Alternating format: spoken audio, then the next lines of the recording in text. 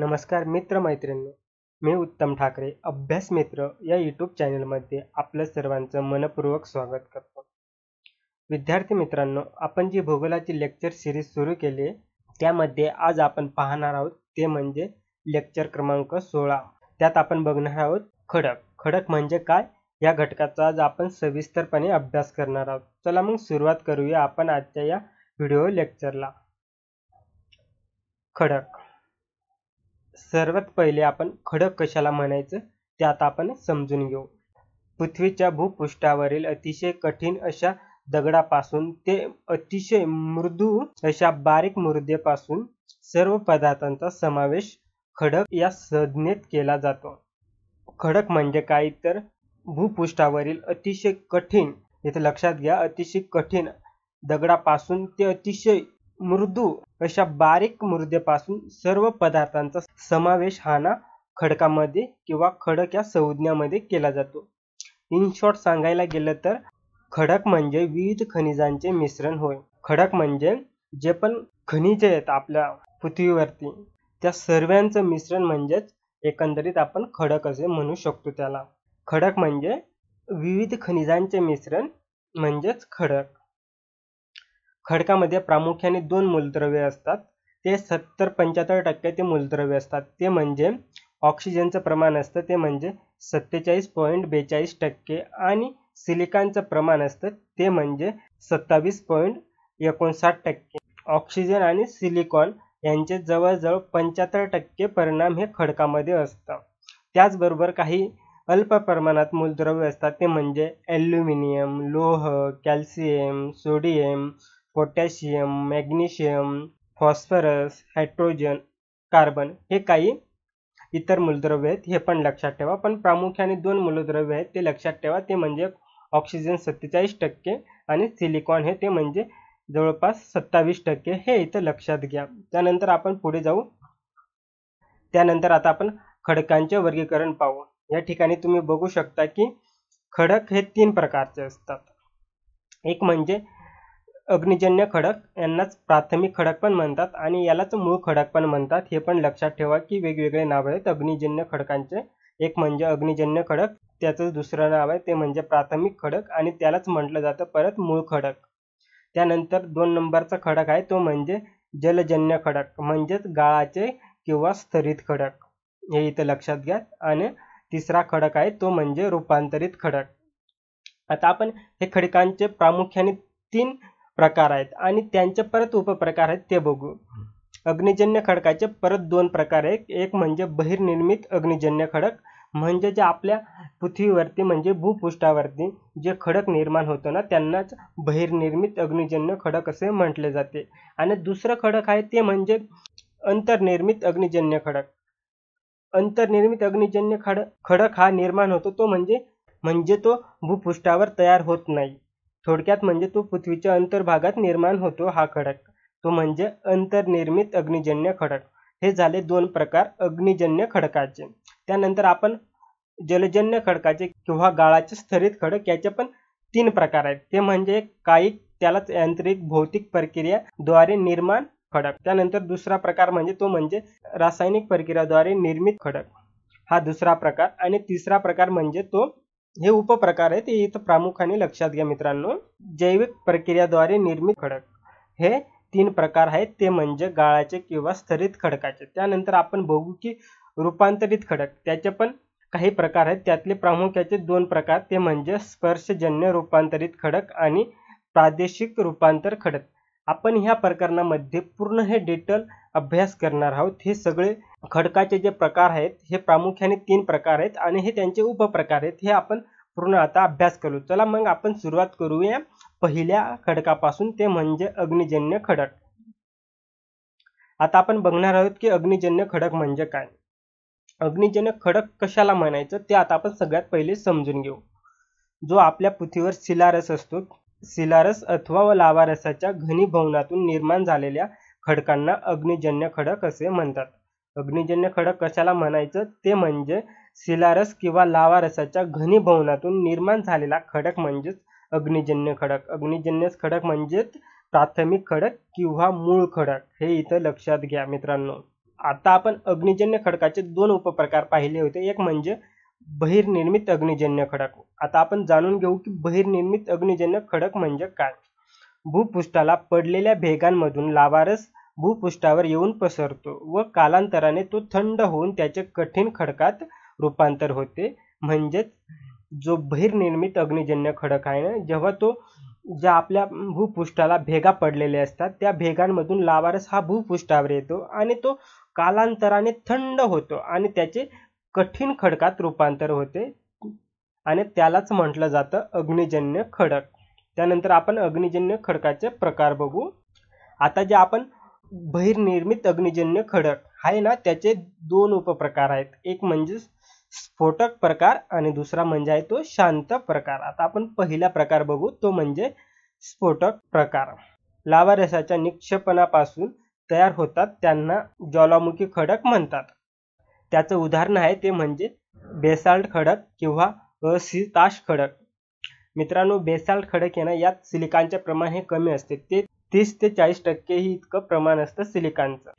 आणि त्याचं उदाहरण म्हणजे भारतामधील दख्खनचे पठार हे बेसाल्ट खडकापासून बनलेलं आहे. त्यानंतर जो दुसरा प्रकार आहे बहिर्निर्मित अग्निजन्य खडकाचा तो म्हणजे शांत प्रकार. लावा रसाचे थरावर तर साचून खडकात रूपांतर होते याला लाव्हा फ्लो असे म्हणतात. आपल्या भूपृष्ठावर लावा रसाचे हळूवारपणे स्तर साचत जातात त्याला म्हणतात लावा फ्लो असे म्हणतात. त्यानंतर आता आपण पुढे जाऊ. त्यानंतर आपण तो दुसरा प्रकार बघितला होता अग्निजन्य खडकाचा.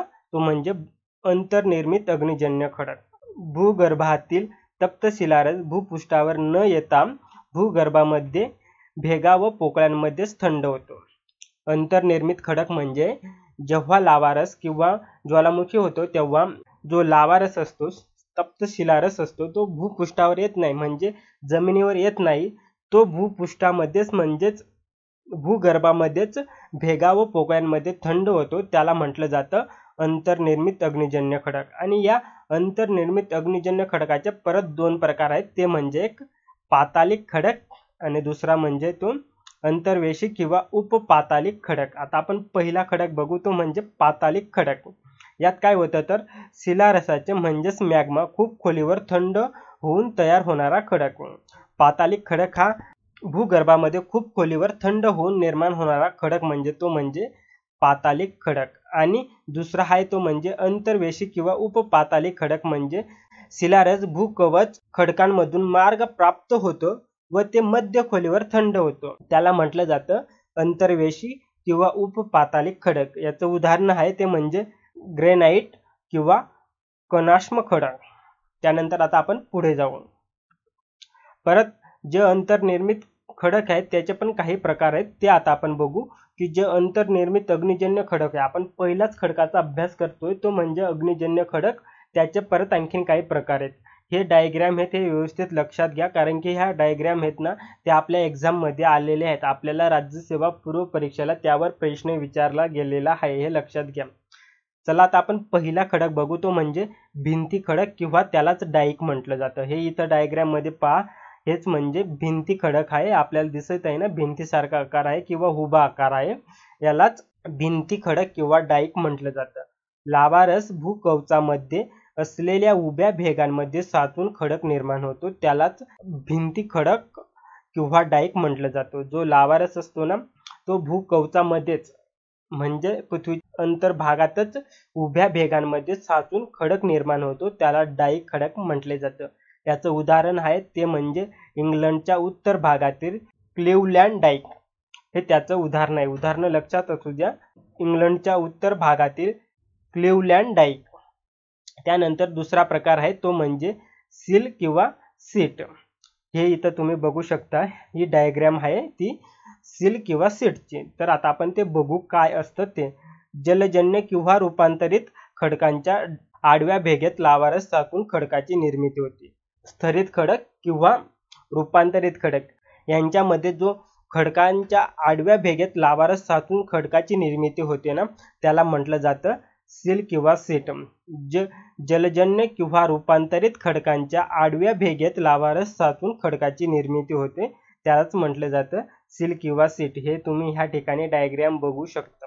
त्यानंतर सील कशाला म्हणायचं आणि सीट कशाला म्हणायचं? सील म्हणजे जास्त जाडे त्या सील म्हणतात आणि सीट म्हणजे पातळ किंवा कमी असते. त्याची जाडी म्हणजे पातळ असतो तो. त्याला सीट म्हणायचं. त्यानंतर आता आपण पुढे जाऊ आणि तिसरा प्रकार बघू. तिसरा प्रकार आहे तो म्हणजे लॅकोलित लॅकोलित म्हणजे काही डायग्रॅम बघा. ह्या प्रकारचा असतो तो. लॅकोलित एका झाडासारख्या आकाराचा. आता आपण बघू. भूगर्भातील तप्त लावारस भूपृष्ठाकडे येताना घुमटासारखे वर उचलले जाते व पोकळीमध्ये लावारसाचे निक्षेप होऊन घुमटाकार खडक तयार होते. त्याला लॅकोलित म्हटलं जातं. उदाहरणार्थ संयुक्त संस्थानामधील उहाट राज्यातील ला साल पर्वत हा त्याचे उदाहरण आहे. लॅकोलित कशाला म्हणायचं? तर भूगर्भातील तप्त लावारस भूपृष्ठाकडे येताना घुमठासारखा वर उचलला जातो. आणि त्या पोकळीमध्ये लावारसाचे निक्षेपण होऊन घुमठासारखा आकार प्राप्त होतो. त्याला लॅकोलित असे म्हणायचे. त्यानंतर चौथा प्रकार आहे तो म्हणजे लोपोलित लोपोलित म्हणजे हा इथं आपण बघू शकता की एका बशीसारखा आकार तयार झालेला आहे. याला लोफोलित म्हणतात. लोफोलित म्हणजे काय त्यात आपण बघून. जेव्हा लावारस खोलगट किंवा उथळ भागात साचून थंड होऊन बशीच्या आकाराचे भुरूप तयार होते त्याला लोपोलित असे म्हणतात. लोपोलित म्हणजे जेव्हा लावारस खोलगट भाग किंवा उथळ भागात साचून एका बशीसारखं आकार प्राप्त होतो आणि त्या जो आकार प्राप्त होतो ना त्याला लोपोलित असे म्हणतात. लॅपोलित आहे ना त्याचा अर्थ आहे ते म्हणजे उथळ खोरे असा होतो. लॅपोलित हा शब्द जर्मन आहे आणि तो लोपास या शब्दापासून तयार झालेला आहे. तो म्हणजे लोपोलित आणि हा जर्मन शब्द आहे आणि याचा अर्थ असतो तो म्हणजे उथळ खोरे त्यानंतर आपण पुढे जाऊ आणि पाचवा प्रकार बघू. तो म्हणजे फॅकोलित फॅकोलित म्हणजे ह्यासारखा एका ओळीसारखा म्हणजे जे आपलं ओळीचं पर्वत असतं त्यासारखा आकार प्राप्त होतो. त्याला फॅकोलित म्हणतात. आता आपण बघू ते काय असतं ते. भूकवचातील खडकांना जेव्हा घडीचा आकार प्राप्त होऊन अपनती व अभिनीतीत लावा साचून वलयाकार भूरूप निर्माण होते. म्हणजे अपनिती म्हणजे हा वर उचललेला भाग आणि अभिनीती म्हणजे हा खाली गेलेला भाग. याला अभिनीती म्हणतात आणि याला अपनिती म्हणतात हे इथं लक्षात राहू द्या. फॅकोलिक म्हणजे जेव्हा भूकवचातील खडकांमध्ये जेव्हा घडीचा आकार प्राप्त होतो जो लावारस साचलेला असतो त्याला घडीचा आकार प्राप्त होतो आणि तो वलयाकार भूरूप निर्माण करतो त्यालाच फॅकोलित असे म्हणतात. ही डायग्राम आहे इथं हे लक्षात घ्या. त्यानंतर आपला सहावा प्रकार आहे ते म्हणजे बॅथोलिक. बॅथोलिक म्हणजे तुम्ही ह्या ठिकाणी डायग्राम पाहू शकता हा सगळ्यात खाली खोलगट भागात आणि विस्तृत पोकळीमध्ये मिळतो. आता आपण ते बघू. भूकवचामधील विस्तीर्ण व खोलगट पोकळीमध्ये लावारसाचे निक्षेपण होते. आपण त्याचं उदाहरण बघू. ते म्हणजे कॅनडामधील ब्रिटिश कोलंबिया जगातील सर्वात मोठा बॅथोलिक आहे. त्याचे जाडे आहे ते म्हणजे एकशे साठ मीटर आणि लांबी आहे ती म्हणजे चोवीसशे किमी इतकी. त्याची लांबी आहे. जाडी आहे ती म्हणजे एकशे साठ मीटर आणि तो कुठं आहे तर तो बॅथोलिक आहे. तो म्हणजे कॅनडामधील ब्रिटिश कोलंबिया या ठिकाणी आणि हा जगातील सर्वात मोठा बॅथोलिक आहे. त्यानंतर आता आपण पुढे जाऊ. अग्निजन्य खडकाचे गुणधर्म. निरनिळ्या आकाराचे स्फटिक आणि रचना असते. ती म्हणजे एक संद म्हणजे एक संद म्हणजे त्याच्या स्तर वगैरे नसतात. नंतर खडक अवढाव्य आकाराचे व कठीण असतात. जे खडक असतात ना ते खूप मोठ्या आकाराचे अवाढाव्य किंवा मोठ्या आकाराचे आणि जे खडक असतात ते खूप कठीण असतात. त्यानंतर खडकात थर नाहीत पण मात्र फारच मजबूत जोड असते. ज्या ठिकाणी जोड असते ती फारच मजबूत असते म्हणजे खूप कठीण असते. आणि खडक अतिशय कठीण असतो कधी पाणी मुरत नाही. खडक हा खूप कठीण असतो आणि त्यात पाणी मुरत नाही म्हणजे त्याच्यातून पाणी जर एखादं अग्निजन्य खडकापासून एखादं कुंड तयार केलेलं असेल तर त्यात पाणी भरलेलं असतं तर ते पाणी कुठेही जात नाही म्हणजे मुरत नाही. ते पाणी जसेच्या तसे राहते. त्यानंतर कायिक अपशयामुळे खडकाची झीज होते. अपशय म्हणजेच विदारण. हे इथं लक्षात घ्या. खडकात वनस्पती व प्राण्यांचे अवशेष नाहीत. म्हणजे हे अग्निजन्य खडक असतात ना त्यात वनस्पती किंवा प्राण्यांचे अवशेष नाहीत ते आपल्याला सापडतील. ते म्हणजे स्थरित खडकामध्ये. ते आपण पुढे अभ्यासच करू. आणि अनेक प्रकारचे खनिजे सापडतात. जे अग्निजन्य खडक आहेत ना त्यात अनेक प्रकारचे खनिजे आपल्याला मिळत असतात किंवा सापडत असतात. त्यानंतर आपण जो दुसरा खडकाचा प्रकार बघितला तो म्हणजे जलजन्य किंवा गाळाचे स्तरित खडक. गाळाचे स्तरित खडक म्हणजे काय? त्यात आपण सर्वात पहिले समजून घेऊ. भूपृष्ठावर अनेक कारक शक्ती अपशयाचे किंवा अपशरणाचे कार्य करतात. ज्या आपल्या भूपृष्ठावर असतात ना त्यात अनेक शक्ती असतात की जे अपशयाचे आणि अपशरणाचे कार्य करत असतात. पृथ्वीवरील अग्निजन्य खडकांची झीज सूर्यप्रकाश वारा पाऊस व इतर कारक शक्तींमुळे होते. जे आपण प्राथमिक खडक बघितले म्हणजे अग्निजन्य खडक त्यांची झीज होते. जी ती झीज होते ती कशामुळे होते? तर सूर्यप्रकाश वारा आणि पाऊस व त्याचबरोबर काही इतर कारक पण आहेत. या शक्तींमुळे अग्निजन्य खडकांची झीज होते व एक संदपणा नाहीसा होऊन लहान मोठ्या कणात रूपांतर होते. या पदार्थांचे नदी हिमनदी वारा सागरी लाटा इत्यादी कारकांमुळे वहन होते. जे अग्निजन्य खडक आहेत म्हणजे प्राथमिक खडक आहेत त्यावर आपल्या भूपृष्ठावर अपशयाचे आणि अपशरणाचे कार्य करतात किंवा शक्ती त्या म्हणजे सूर्यप्रकाश वारा पाऊस व इतर कारक. यांच्यामुळे काय होतं तर जे अग्निजन्य खडक आहे ना त्याच्या लहान मोठ्या कणात रूपांतर होते. आणि जे लहान मोठ्या कणात रूप रूपांतर झालेले असते ना ते पदार्थांचे वहन होते. वहन म्हणजे ते नदी हिमनदी वारा सागरी लाटा या कारकांमुळे वहन होते. त्याचे समुद्र सरोवर नद्या हिमनद्यांचे मार्ग किंवा जमिनीवर निक्षेपण होते. जे निक्षेपण होते ते म्हणजे समुद्रामध्ये होतं किंवा सरोवर नद्या हिमनद्या या मार्गांमध्ये किंवा जमिनीवर त्या बारीक बारीक तुकड्यांचे किंवा खडकांचे जे लहान लहान कण आहेत त्यांचे निक्षेपण होते आणि हे निक्षेपणाचे स्तरावर थर साचतात. जे पण आपण बघितले की जे लहान लहान तुकडे असतात ना त्यांचे निक्षेपण होते आणि त्याच्या स्तरावर थर साचतात. त्यांनाच अग्निजन्य किंवा गाळाचे खडक असे म्हणतात. आपण इथे लक्षात घ्या की गाळाचे खडक कशाला म्हणायचं? जे अग्निजन्य खडक आहे त्याची सूर्यप्रकाश वारा पाऊस इतर कारकांमुळे या शक्तींमुळे झीज होते. झीज झाल्यावर काय होतं? तर त्या लहान मोठ्या कणात त्याचे रूपांतर होते आणि जे रूपांतर झालेले ते नदी हिमनदी वारा सागरी लाटा या कारकांमुळे वहन होते. आणि जे वहन होते ना ते समुद्रामध्ये होते किंवा महासागरामध्ये सरोवर नद्या किंवा जमिनीवर त्याचे निक्षेपण होते. ही प्रक्रिया सतत चालू असते आणि ही प्रक्रिया सतत चालू असताना थरावर थर असे साचत जातात. म्हणजेच तिथं जलजन्य खडकाचा किंवा गाळाच्या स्थरित खडकांची निर्मिती होते. त्यानंतर आता आपण पुढे जाऊ. जे आपण खडक बघितलेत गाळाचा किंवा स्थरित खडक किंवा जलजन्य खडक त्याचे आपण ते पहिलेही बघितले होते की त्याचे तीन प्रकार होते. आता त्यातला आपण पहिला प्रकार अभ्यास करू. तो म्हणजे कायिक यांत्रिक भौतिक प्रक्रियांद्वारे निर्मित खडक. त्यात पहिला प्रकार आहे. तो म्हणजे पिंडाश्म किंवा खंडाश्मी खडक.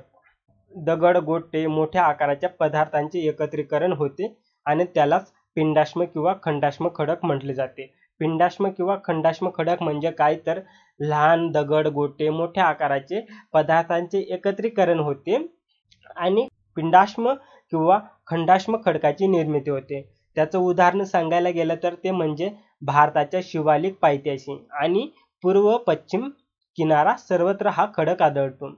त्यानंतर आपण दुसरा खडक म्हणजे तो म्हणजे वालुकामश म्हणजेच वाळूचा खडक. हा पण स्थरित खडकापैकी एक अत्यंत कठीण खडक आहे. जो स्थरित खडक आहे ना बाकीच्या खडकांपाशी वाळुकामय किंवा वालुकाश्म खडक आहे ना हा एक अत्यंत कठीण असा खडक आहे. त्यानंतर आपण तिसरा खडक बघू तो म्हणजे रेवमय खडक.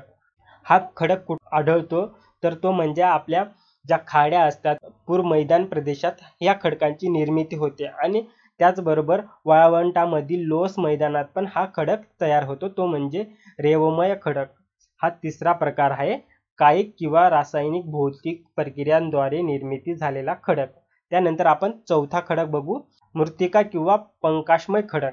अतिसूक्ष्म मातीच्या कणांपासून अति मृदू कणांपासून हा खडक बनतो. त्याचं उदाहरण आहे ते म्हणजे सेल. काही वेळा खनिजांच्या तेलाचा अंश असतो. सेल खडक आहे ना त्यात काही वेळा खनिज तेलाचा अंश असतो. हे इथं लक्षात घ्या. हे इथं आपण त्याचं अपशरण किंवा अग्निजन्य खडक आहे त्याचं कशा प्रकारे जे बाह्यकारक शक्ती असतात त्यामुळे त्याचं विदारण होतं किंवा अपशय होतं. हे इथं तुम्ही पाहू शकता की हे दोन डायग्रॅममध्ये आपल्याला जे खडकाचे तुकडे होतात ते म्हणजे वाहत जाऊन नदी हिमनदी वाऱ्या आणि त्यापासून हा प्रकारे खडक तयार होतात. हे तुम्ही इथं लक्षात घ्या. या डायग्रॅम आहेत. ते बघू शकता तुम्ही. त्यानंतर आता आपण तो दुसरा प्रकार बघू. तो म्हणजे रासायनिक प्रक्रियांद्वारे निर्मिती जलजन्य खडक. हा स्थरित खडकाचा दुस दुसरा उपप्रकार आहे. तर आता आपण बघू की रासायनिक प्रक्रियांद्वारे निर्मिती जलजन्य खडक कशा प्रकारे निर्माण होतो. पाण्यात काही रासायनिक पदार्थ विरघळतात. पाण्याच्या काही खडकांवर परिणाम होऊन खडक विरघळतात. अशा पाण्याचे बाष्पीभवन होऊन रासायनिक पदार्थ निक्षेपित होतात आणि या निक्षेपणापासून खडक बनतात. रासायनिक खडक म्हणजे काय? तर पाण्यात काही रासायनिक पदार्थ हे विरघळत असतात आणि पाण्याचा काही खडकांवर परिणाम होऊन खडक विरघळतात आणि पाण्याचे बाष्पीभवन होऊन रासायनिक पदार्थांचे निक्षेपित होतं आणि त्यापासून जो खडक बनतो ना त्यालाच रासायनिक खडक असे म्हणतात. त्याचं उदाहरण आहे ते म्हणजे चुनखडी किंवा जिप्सम हे दोन उदाहरणं लक्षात ठेवा की जे रासायनिक प्रक्रियांद्वारे निर्मिती होते. या ठिकाणी आपण बघू शकता की रासायनिक प्रक्रिया ही कशा प्रकारे होते. या दोन डायग्राम आहेत ते तुम्ही इथं पाहू शकता.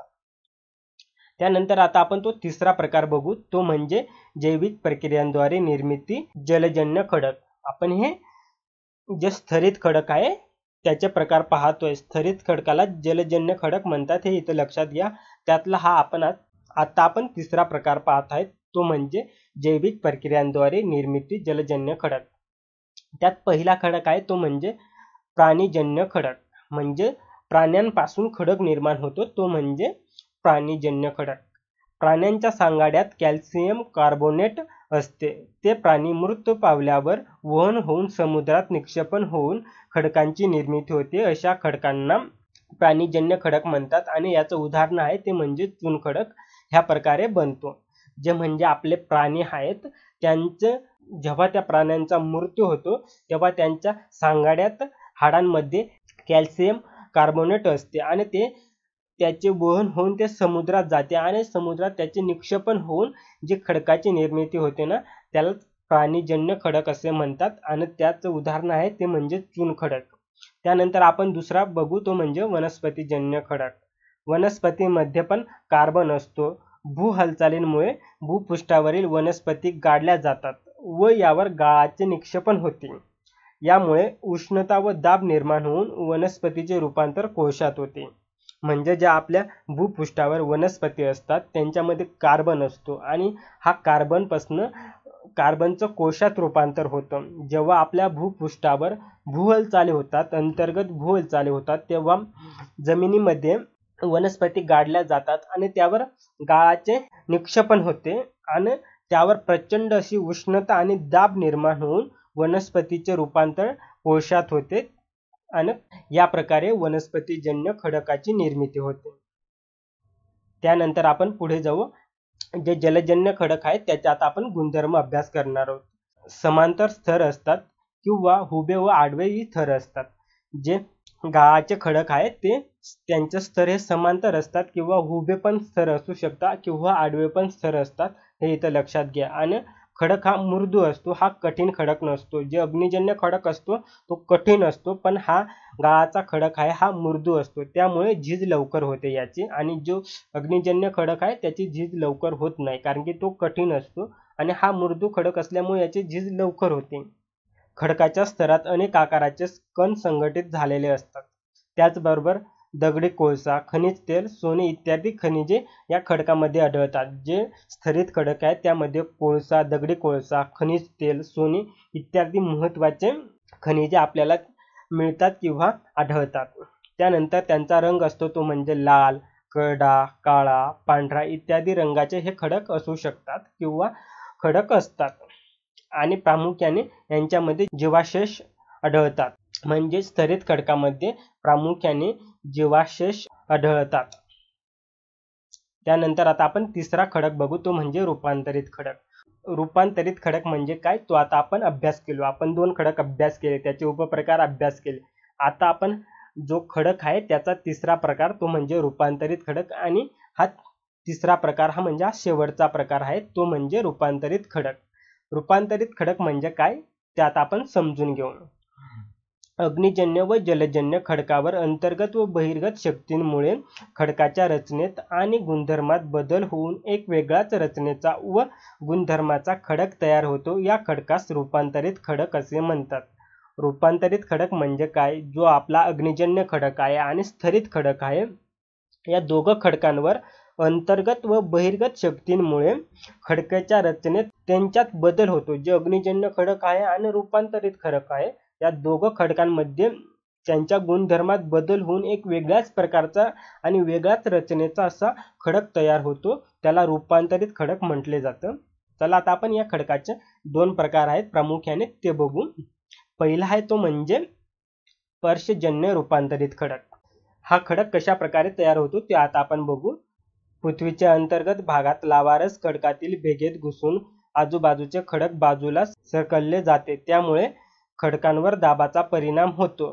आणि लावारसातून काही द्रव्य व वायू बाहेर पडत असताना आजूबाजूला खडक शोषले जातात व रूपांतर होते. यालाच स्पर्शजन्य रूपांतरित खडक असे म्हणतात. स्पर्शजन्य रूपांतरित खडक म्हणजे काय? तर जेव्हा पृथ्वीच्या अंतर्भागात लावारस खडकातील भेगांमध्ये घुसून जे खडक त्या ठिकाणी असतात त्या खडकांमध्ये लावारस घुसून ते खडक आजूबाजूला सरकरले जातात म्हणजे आजूबाजूला होतात. त्यामुळे खडकांवर दाबाचा परिणाम निर्माण होतो आणि जो लावारस असतो ना त्याच्यातून काही द्रव्य किंवा वायू पदार्थ हे बाहेर पडत असतात आणि जे खडक असतात ना ते आजूबाजूला खडक शोषले जातात आणि त्या ठिकाणी रूपांतर होते आणि ते रूपांतर होते ना त्यालाच स्पर्शजन्य रूपांतरित खडक असे म्हणतात. त्याचं उदाहरण आहे ते म्हणजे वालुकाश्माचे रूपांतर क्वार्टरझाईट व चुनखडकाचे रूपांतर संगमरवरात होते हे इथं लक्षात ठेवा. त्यानंतर जो दुसरा प्रकार आहे तो म्हणजे प्रादेशिक खडक. पृथ्वीच्या हालचालीद्वारा अधिकतम दाब आणि उष्णतेमुळे खडकांची निर्मिती होते. त्याला प्रादेशिक खडक असे म्हणतात. म्हणजे एका प्रादेशिक ठिकाणी निर्माण होते किंवा पृथ्वीच्या जी पृथ्वीच्या हालचालीद्वारा अधिकतम दाब आणि उष्णतेमुळे खडकाची निर्मिती होते. त्यात होते म्हणजे ते म्हणजे सोने हिरे आणि चांदीसारख्या मौल्यवान धातूंसारखे खनिजे निर्माण होतात या प्रादेशिक खडकामध्ये. त्यानंतर आता आपण पुढे जाऊ. आता आपण जे रूपांतरित खडक बघितले त्याचे काही वैशिष्ट्य आहेत ते आता वैशिष्ट्य अभ्यासून. हे रूपांतरित खडक असतात ना ते भरीव असतात कठीण असतात स्फटिकमय व सहजगत्या न झिजणारे असतात. म्हणजे हे हे रूपांतरित खडक हे पण भरीव कठीण आणि स्फटिकमय व सहजगत्या न झिजणारे म्हणजे त्यांची झीज ही सहजगत्या नाही होत आणि जीवावशेष आढळत नाहीत. पर्वताचे गाभे व विस्तीर्ण पठाराचे भाग रूपांतरित खडकांनी बनलेले असते. जे पर्वताचे गाभे असतात ना त्यात हा रूपांतरित खडक असतो आणि जे विस्तीर्ण असे मोठे पठार आहेत ना त्यांच्या भागात पण रूपांतरित खडक हा असतो. आणि काही प्रमाणात खनिजे आढळतात. त्यानंतर आता आपण पुढे जाऊ. आता आपण ह्या ठिकाणी या डायग्रॅममध्ये तुम्ही बघू शकता की खडक हा कोणत्या प्रकारचा असतो? म्हणजे जे आपण खडकाचे प्रकार बघितले तीन प्रकार आहेत. प्रामुख्याने एक अग्निजन्य खडक दुसरा स्थरित खडक आणि तिसरा म्हणजे रूपांतरित खडक. आता आपण या डायग्रॅममध्ये किंवा ह्या छायाचित्र आहेत दिलेल्या आपल्याला आणि काही खडकांचे प्रकार दिलेत. आता आपण बघणार आहोत की कोणत्या खडकापासून कोणता खडक तयार होतो. जो खडकाचा प्रकार आहे तो अग्निजन्य खडक आहे आणि तो मूळ खडक आहे तो म्हणजे ग्रेनाइट. आणि ग्रेनाइटपासून रूपांतरित खडक होतो तो म्हणजे निस. ग्रेनाइटपासून रूपांतरित खडक कोणता तयार होतो तो म्हणजे निस. तुम्ही इकडे ह्या छायाचित्र पण बघू शकता कशा प्रकारे तो खडक आहे तो. त्यानंतर अग्निजन्य खडक आहे. अग्निजन्य खडकापासून बेसाल्ट हा मूळ खडक आहे आणि बेसाल्टपासून रूपांतरित खडक होतो तो म्हणजे एम्फिबोलाइट. तो खडक होतो तो म्हणजे एम्फिबोलाइट हा रूपांतरित खडक आहे. तो आहे म्हणजे मूळ खडक बेसाल्ट यापासून रूपांतरित खडक आहे तो म्हणजे एम्फिबोलाइट त्यानंतर स्थरित खडक आहे. जो खडकाचा दुसरा प्रकार आहे तो म्हणजे स्थरित खडक. त्यातला मूळ खडक आहे तो म्हणजे चून खडक. आणि चून खडकांचे रूपांतर होते ते म्हणजे संगमरवर या खडकात होते.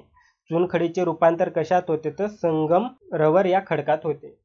त्यानंतर स्थरित खडक आहे तो म्हणजे कोळसा. कोळसा हा मूळ खडक आहे आणि कोळशाचे रूपांतर होते तो म्हणजे हिरा. त्यानंतर स्थरित खडक जो मूळ खडक आहे तो म्हणजे वाळूचा खडक आणि त्याच्यापासून रूपांतरित खडक होतो तो म्हणजे क्वार्टर झाईट.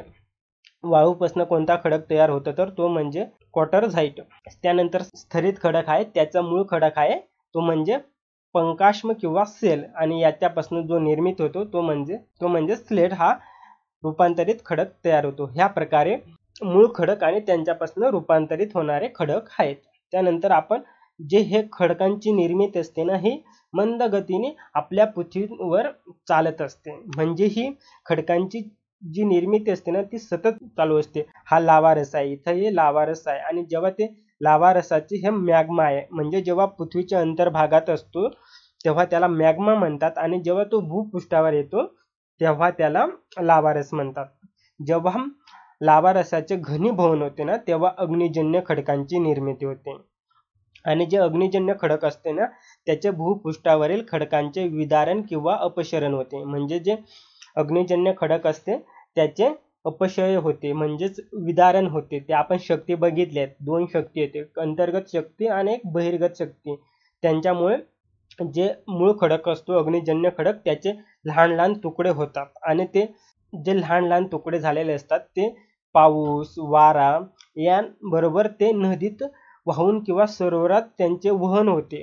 अपशरण होते. अपशरण म्हणजेच वहन होते जे लहान लहान तुकड्याचे आणि त्याचे स्थरावर स्थर साचत जातात. आणि हे स्थर कालांतराने त्यांचं रूपांतर होतं. ते म्हणजे स्थरित खडकांमध्ये. जे अपशरण होतं मूळ खडकाचं त्याचे वहन होऊन ते संचयन होते. म्हणजे एका ठिकाणी स्थरावर थर साचले जातात आणि त्यांच्यापासून स्थरित खडक होतो. आणि या स्थरित खडकांपासून याचं पुनर्स्फटिकीकरण होतं. त्याचं रूपांतर होतं. त्याच्यावर प्रचंड दाब आणि उष्णता असल्यामुळे त्याचं रूपांतर होतं. ते म्हणजे रूपांतरित खडकात. आणि रूपांतरित खडकांचे पुन्हा जो मॅग्मा असतो तो खूप तप्त असतो. त्यामुळे जे खडक असताना रूपांतरित खडक ते पुन्हा वितळते आणि त्याचे पुन्हा लाभाच्या रूपाने भूपृष्ठावर येतो आणि भूपृष्ठावर पुन्हा अग्निजन्य खडकांची निर्मिती होते. म्हणजे हे एक चक्र असतं ना हे खडक निर्मितीचं चक्र हे असंच चालू राहतं. अशा प्रकारे विद्यार्थी मित्रांनो आज आपण खडक ह्या घटकाचा पूर्णपणे सविस्तरपणे अभ्यास केला. धन्यवाद मित्रांनो. बघत राहा अभ्यास मित्र.